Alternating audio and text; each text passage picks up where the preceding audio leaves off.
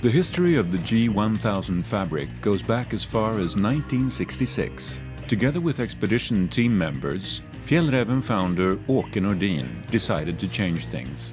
Using an unusually durable tent fabric, he developed the now legendary Greenland jacket and trousers. By adding a mixture of beeswax and paraffin to the clothing, they got just the benefits the team members were looking for, and one of the world's most hard-wearing outdoor fabrics was born.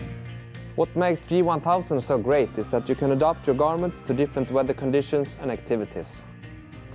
Waxing your garments improves the durability and lifetime of your garments. With more wax, you increase the water and wind repellence. With less wax, the garment is cooler and offers maximum breathability. G1000 consists of a tightly woven combination of the highest quality cotton and polyester that is impregnated with Greenland wax. This makes G1000 extremely durable and at the same time well ventilating. G1000 garments are wind and water resistant as well as mosquito safe, and it even protects you from the alpha and beta rays from the sun.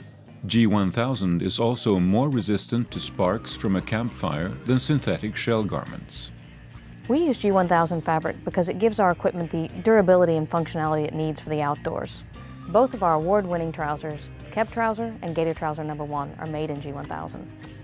I have used G1000 clothing and equipment for many years in different environments all over the world, both as a professional and a civilian.